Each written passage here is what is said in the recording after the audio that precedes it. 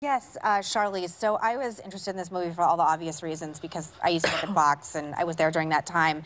Um, there's an innate distrust between, I think, most conservatives, but particularly conservative women in Hollywood. Mm -hmm. um, what was it like being in the mindset and playing a character of a conservative woman? And did you have any new reactions or impressions of what it's like to? I used to worship Megyn Kelly. I want early on in her career. I don't anymore. I used to want to be her, and so I just want to know playing her and going through all this, do you have any impressions of what it's like to be, you know, conservative firebrand like she was?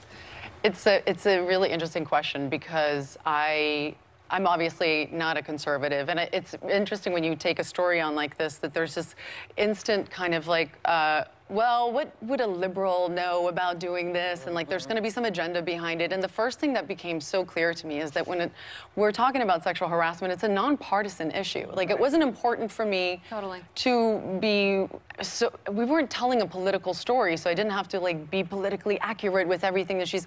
Obviously, she had said things. We wanted to be as accurate about what the news stories were in that period, and obviously, she had said, said some very um, provocative, provocative things. Yes, and and we felt like it was important to you know, to just be truthful about that and to not hit it over the head. But we have screens that would, you know, show some of those news stories and stuff. But outside of knowing her as a conservative woman, woman, what I was shocked to kind of realize through my research was that she's a woman that I didn't think I had anything in common with. Mm -hmm. Mm -hmm.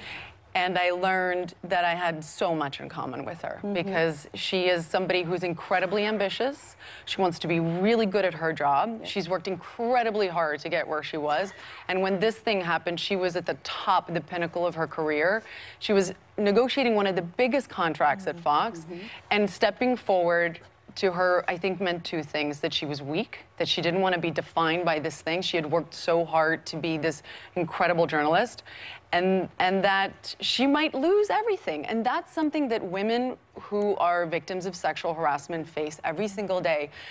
Mm -hmm. The risk of what they're going to lose is so great. And this idea yeah. that when people say to me, like, why do you believe women so easily? Women have nothing to gain. Mm -hmm. If you look, yeah. look back, women are the ones who lose everything. Most of the women at Fox never worked at, in broadcasting again. Mm -hmm. Yes. They were ostracized. They're punished. Yeah. They're punished. Mm-hmm. While the men went on to, you know, Shine got a job in the White House. Mm-hmm. The settlement between uh, O'Reilly and, and Ailes didn't even match. Yeah. Uh, I mean, they're... Um, uh, exactly. Yeah. yeah. yeah. So I just, that was the moment where I realized, what, wow, like, I know that feeling of being ambitious and wanting to be great. And also that feeling where those things are can be turned around and be weaponized against you right. as a woman. Like when you're a guy and you're ambitious, it's great. When you're yeah. a woman, sometimes not so great. It can be turned around yeah, and be right. used as a negative. And yeah. so, in that sense, I